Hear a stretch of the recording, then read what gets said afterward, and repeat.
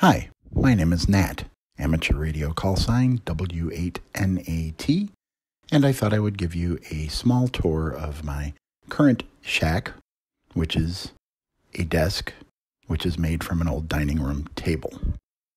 On the left over here is the meat of the station. This is my HF rig, an IC7300. You'll note the mic is currently unplugged, which I'll explain in a moment.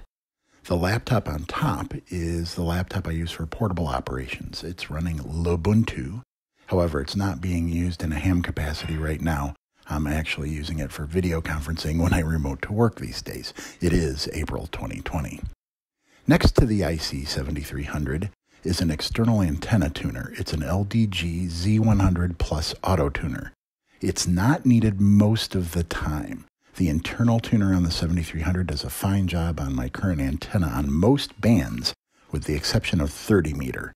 That's where the auto tuner comes in. Sticking off the front of my little shelf is the control face for my IC2730 VHF UHF rig, which is standing upright below it, next to my TekPower 30 amp power supply.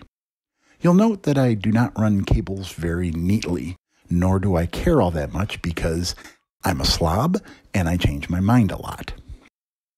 This is an ICOM SM30 desk microphone.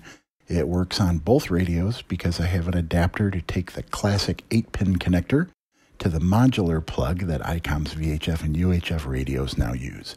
It's currently attached to the 2730 because I've been playing heavily with digital modes on the HF rig and don't need a microphone for that. Over here, the computer. This is a Lenovo ThinkCentre, a rather modestly powered machine running Windows 10, but it handles everything I need to do in ham and working my job remotely these days. On the left monitor, I have open N3FJP's amateur contact log software. This is the main reason I've stuck with Windows for the desktop setup. I'm quite fond of this software.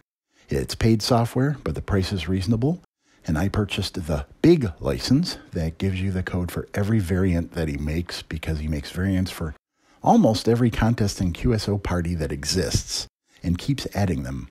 Uh, over here on the right is the other monitor with FLdigi up, which I use for the non Joe Taylor digital modes.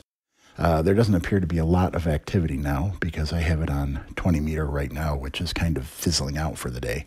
There's a little bit of PSK there on the left, but not a whole lot. Uh, keyboard and trackball because I hate mouses. And over here, this mess is my CW practice stuff. Uh, there's my paddle and my headphones and my scratch pads. You will not find me on the air calling CQ on CW just yet because when you respond, my brain will still seize up, but I'm getting there. And almost as important as all of this is this box of tissue.